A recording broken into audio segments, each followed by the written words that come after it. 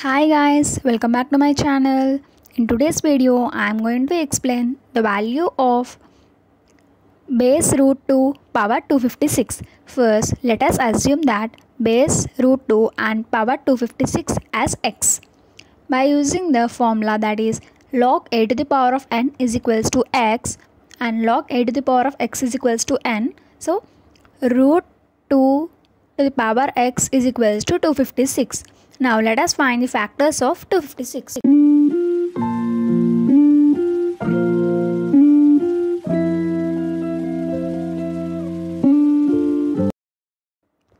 Root 2 to the power of x is equals to 2 to the power of 8.